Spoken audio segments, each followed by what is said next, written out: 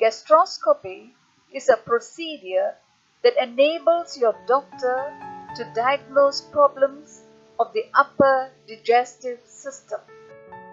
The examination will take about 5 to 10 minutes. The examination is to view the inner lining of your esophagus, stomach, and part of your small intestine using a gastroscope. This is a long, thin, flexible tube with a tiny video camera. When your doctor recommends a gastroscopy examination, you will be required to give consent in writing to ensure that you understand what is involved. You should not take any food or drink at least 6 hours before the examination.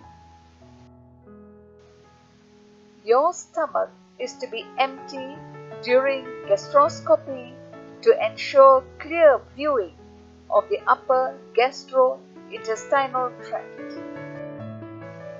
On the appointment day, please produce your appointment card and endoscopy procedure deposit letter at the ground floor reception counter for registration, followed by payment of deposit at pharmacy's cashier counter. And then proceed to the fourth floor endoscopy center. Before the procedure, you'll be asked to change into a patient gown and pajamas. Please leave all valuables at home. Please inform if you have any surgical or medical history, allergies, or if you are taking regular medication such as for diabetes, blood pressure, or blood thinner. You will be required to remove any dentures or spectacles before gastroscopy. A temporary IV cannula will be inserted into your forearm for sedation or analgesic and other medication. This cannula will be removed before you are discharged from the endoscopy center. Your throat will be sprayed with a liquid anesthetic to produce numbness. This may taste slightly bitter and the effect will last about 30 to 45 minutes. You will be positioned lying on your left side and you will be asked to bite on a plastic mouthpiece to prevent damage to the scope and allow the passage of the gastroscope through your throat. An intravenous injection of sedative will be given by the doctor to sedate you for 5 to 10 minutes. You may request for an awake scope. The doctor will insert the gastroscope through your mouth to the back of your throat, down the esophagus, through the stomach, and into the second portion of the small intestine, duodenum. This will not interfere with your ability to breathe, as the scope does not enter your windpipe. If you are awake, try to take slow breaths through your nose.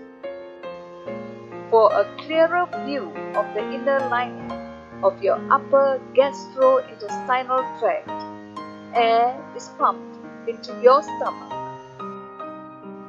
This air may cause the sensation of wind. Your doctor may take a tissue sample from the inner lining of your stomach.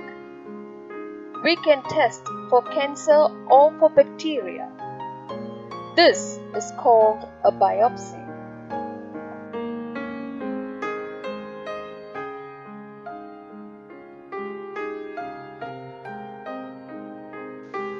You will rest till fully recovered. Initially, you may feel slightly bloated from the air that was pumped into your stomach.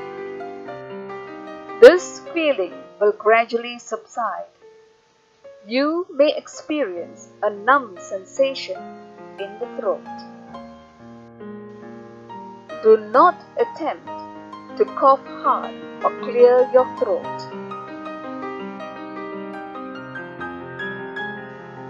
You can drink when the swallowing sensation returns. You may then resume your normal diet as instructed by your doctor. If you were given sedation or analgesic, you may feel drowsy for several hours. You should not drive a car or operate machinery that requires judgment or skill, or drink alcohol for the rest of the day. You are advised not to take sedative medication unless prescribed by your doctor. Avoid signing legal documents and make major decisions until the next day. Please arrange to go home accompanied by a family member or a friend after discharge from the endoscopy center. Do consult your doctor if you experience severe pain or discomfort of your abdomen, blackish stool, blood in your stool or vomitus, severe fever, redness, pain or swelling at site of injection that persists for more than 24 hours after the examination.